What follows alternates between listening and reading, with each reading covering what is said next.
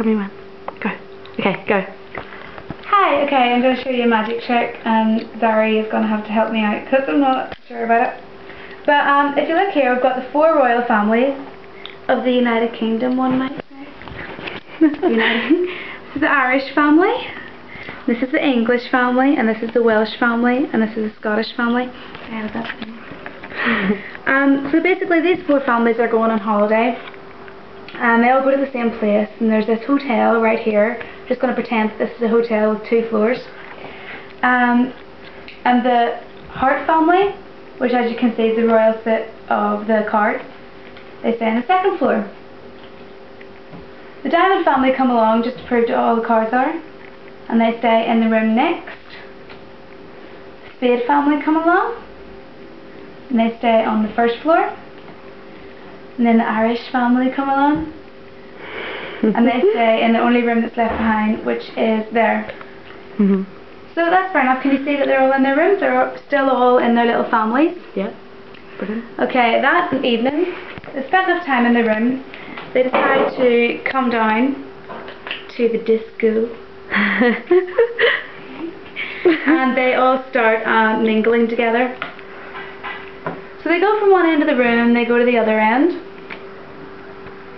They're all together and then they split up and then they come back together again.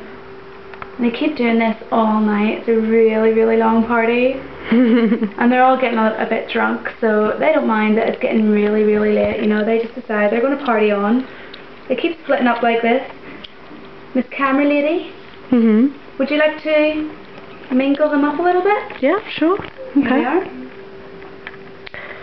Um, Yeah, just cut the deck. Can I just put it on top here, right, yeah? Yeah. And you can do that as many times as you like. Just keep splitting them up. yeah, you sure I can keep mixing it like this? Yeah, definitely, yeah. Okay. It's one heck of a party. It's a really good party. Uh-huh. It's a royal party. Oh. So yeah, they keep, you know, mixing up, splitting up, and then mingling and getting back together. And then they start to think, you know, it's getting a bit late. Got to get up early for that royal meeting in the Mhm. morning. So um, they all head out the door and up the stairs. okay. And you know what? They're just all so drunk, as you do. I'm not doing anything with the cards here, but anyway, just yep. let you know. Um, they're all so drunk that they don't even care which room they go into. They just go into any room at all. So they go into each of the four rooms, one people in each. God knows who they are, which room they're in. Mhm. Next set of four come along. They do the exact same thing. Yep.